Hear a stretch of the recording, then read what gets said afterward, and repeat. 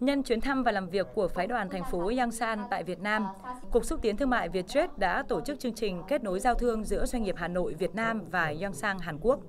Tại buổi giao thương, đại diện Cục xúc tiến thương mại cho biết Hàn Quốc đang là một trong ba đối tác thương mại lớn nhất và là quốc gia có số vốn FDI đứng đầu tại Việt Nam với tổng số vốn 48 tỷ đô la Mỹ.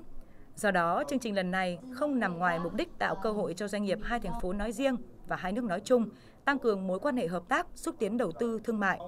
Ông Ji Hyun Chun, thị trưởng thành phố Yangsan cho biết, tham dự chương trình lần này, đoàn doanh nghiệp thành phố Yangsan gồm 20 doanh nghiệp hoạt động trong các lĩnh vực kim khí, sản xuất đồ gia dụng, vận tải, chế tạo thiết bị điện tử, nông sản thực phẩm, vân vân đã thể hiện mong muốn được tiếp xúc, trao đổi đầu tư, mở rộng mạng lưới khách hàng và nhà phân phối đối với các doanh nghiệp Hà Nội.